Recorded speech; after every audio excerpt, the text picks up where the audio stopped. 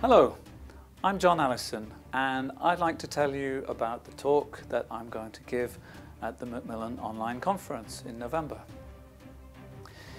You can lead a horse to water, but you can't make it drink. Do you ever think of that old proverb when you come out of one of those unexpectedly disappointing lessons? You know, the, the kind of lesson where you've, you've found a subject that you think will be really interesting and your students sort of shrug their shoulders and say, yeah, it's okay.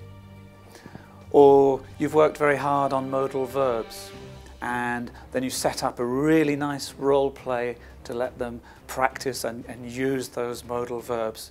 And, and all they say is, oh, it's possible, or no, it's not possible. So uh, with that kind of disappointing lesson, what can you do? How can you get your, your horse to drink?